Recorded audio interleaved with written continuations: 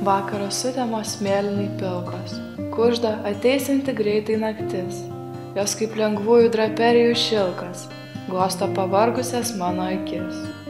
Dega ugni žydiniai, besvajojant, kartais sušvinta mintis nerami. Ir degdama kaip angližai žaruoja, pasivaidena veidai pamiršti. Bet pamažu, vis gilyn ir gilyn, mėlyno sapno svajingan šalin, grimsta per dieną išvargus dvasia. Ten, kur tamsybė gaivi viešpatauja, vėliai būties pradmenų pašvesta, kimsi ateinančiam rytui iš naujo.